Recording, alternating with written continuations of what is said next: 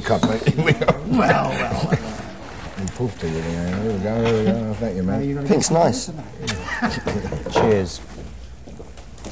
So Jay, just continue, you're just gonna get an establishing shot of that, right? Okay. It's easy. Hand on this camera. You think it's easy hand on this camera? sure. When's the last time you've been back to England? About a month ago, I hated it. How long were you there? This the last time? About a month. A month of pure misery. It's Really? like one big village now, London. Did you do any of the club scenes when you were there? Oh, oh. What clubs? Yeah. What's that new one? That new one at uh, Strange Ones. What is it? Oh, God, yeah, the Palace. Yeah, I went there and I didn't. Palace, what's that? Oh, it's that awful dump in Camden Town. Yeah, you know what it's like? Oh, right, the music machine that Yeah. Rusty's converted. Yeah. It's. It reminded me. I thought, you know, I was looking for this club of essence, and then when I went there, it reminded me of Studio 54. I mean, it was Oh, the same kind of bullshit. Well, that's funny because Rusty's very influenced by New York anyway, right? Um, anyone got a book of matches that I can Yeah, keep a hold of so I can constantly light Yeah. cigarettes when I want? Got a lighter. Great. Oh, great.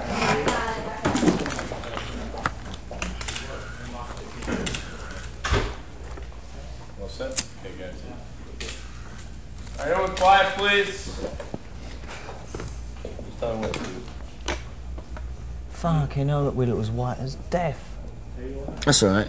That's why I makeup. Even I do. I've had no time to do my hair. Don't look at the TV monitors, right?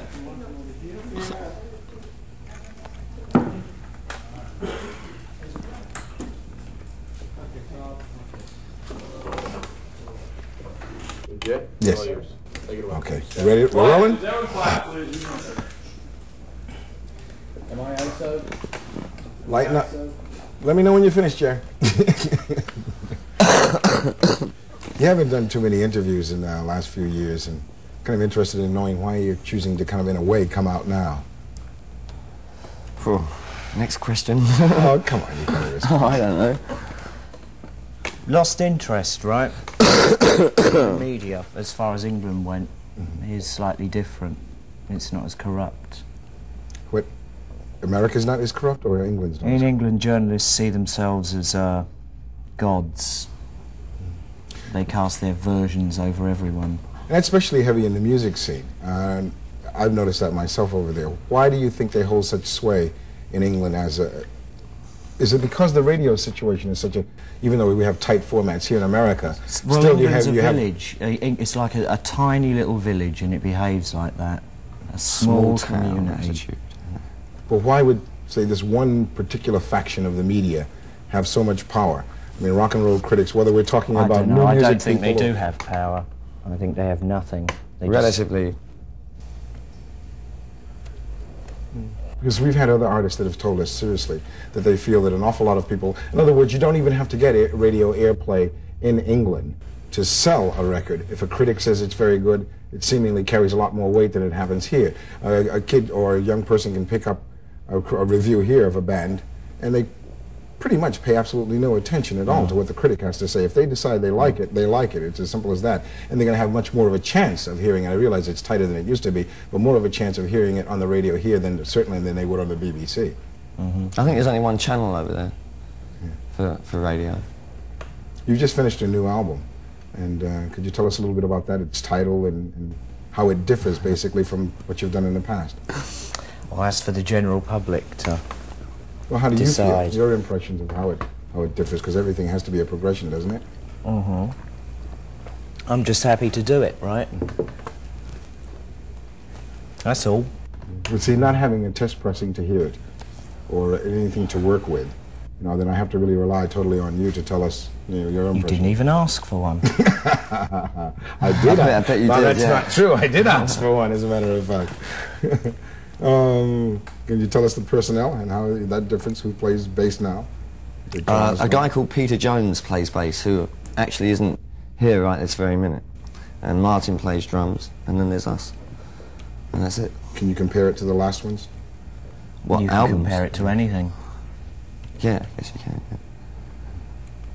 Would you? Um, it's going to be better. In what way?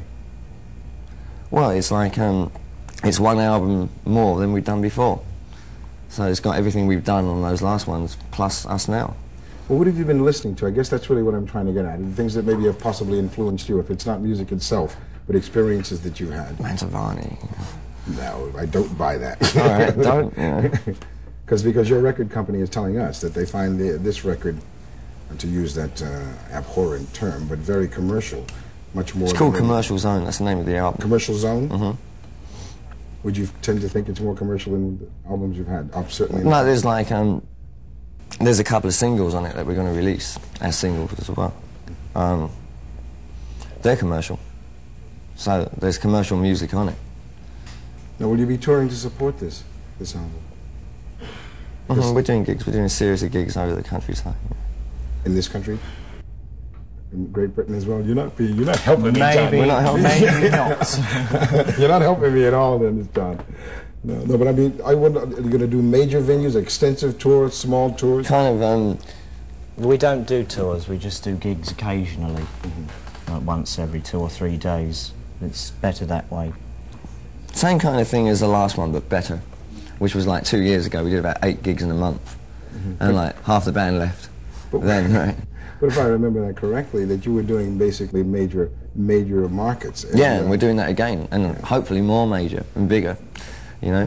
But I mean, we're trying. we, don't, we don't make records we don't want to play to empty halls. to hide. No, no, I we know. want to flog as many as possible.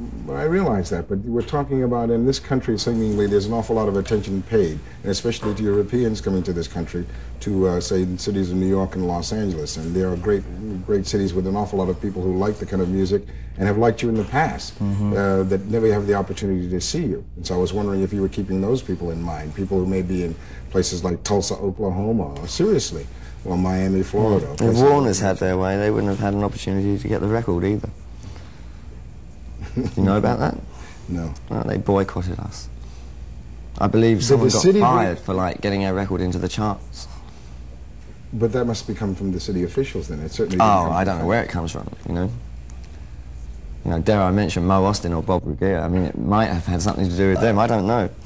You know, I'm not blaming it on someone else. Right? It, it, you know, it happened. It really happened. I know the guy who got fired for it. Really? That's Just thought I'd moan about that.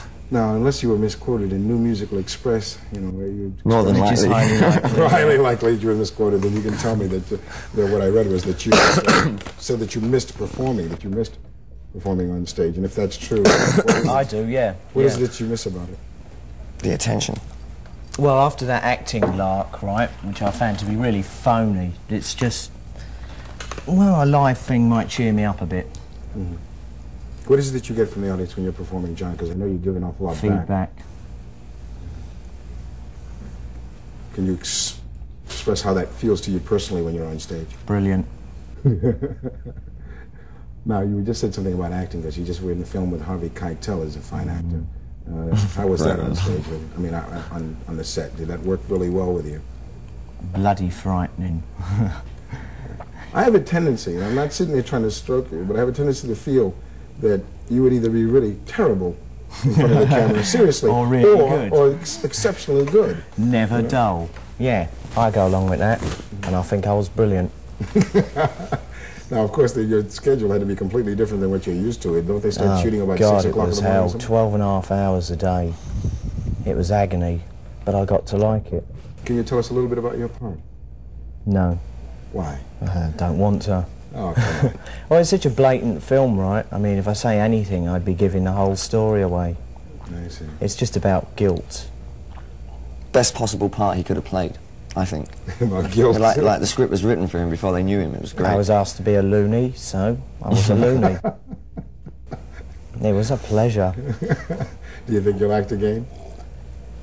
I've always acted. No, I mean in front of the camera. no, I shouldn't say that again, or you'll, you'll set me up with that. I I'm mean, acting In a proper film. I, I figure you possibly are, but see, so am I.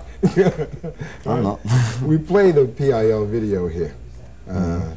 and I was wondering if you're interested in, in video as a medium. You'll be going into that a little more extensively? Uh, I, I think it's a, a great medium, misused but great.